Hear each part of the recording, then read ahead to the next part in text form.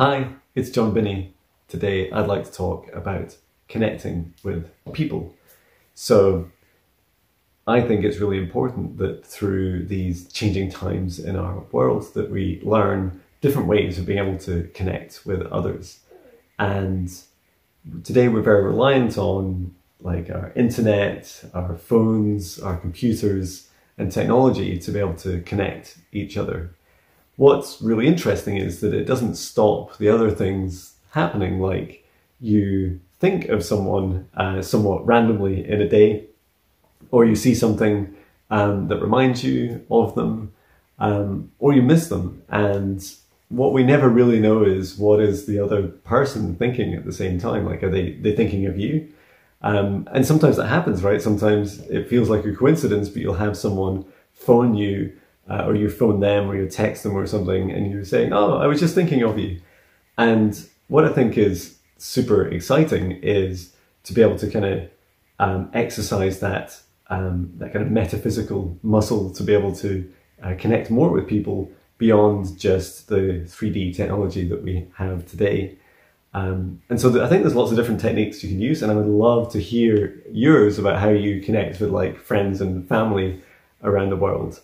Um, so one one thing I've tried a few times is, um, especially for uh, people that I've met um, in person before, uh, I've done things like just sit down, uh, so you agree together, agree a time, uh, although time isn't so relevant. Um, so you sit down and you say, okay, let's watch a, a, a meditation uh, video um, at the same time. So let's say one of you is in Europe and the other is in America, and you say, okay, we're going to watch this, uh, just meditate uh, for the, with this video, and um, could be like 10 or 20 minutes. And that before you do that, you set the intention that you will be connected to each other and that you'll go on this meditation journey together. And so you just go through the video and then at the end, um, kind of share notes. So you might be kind of texting on your phone. You might say, okay, um, this is how, uh, this is how it felt for me. Like this is what I, I saw in my meditation and kind of blindly share with each other, just like send each other at the same time, uh, exactly what you experienced. And then share the experience. And uh, it can be really exciting because it's it's something that the internet doesn't do very well, which is it doesn't really convey um, emotion, right? So it can show pictures and videos and music, and that's why I love music because it can kind of transmit uh, emotions, but it's not the same as a kind of conversation with with someone. You can connect to a frequency and a feeling, but you can't communicate so easily with it.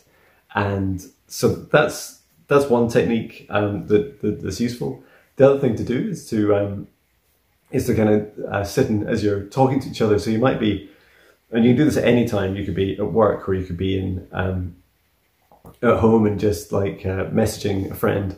Um, what to do is to uh, ask them if you can you can connect. Like, can you connect uh, your kind of consciousness together so that you're um, that you're able to communicate in a way that you've never uh, that you wouldn't do in a normal uh, 3D world. And so you just say, um, "I'd like to connect with you," and as that as that happens, um, you can start to kind of get a feeling of all the different things that are going on in that person's um, life. It's like it's like connecting up the internet, but with emotion as well.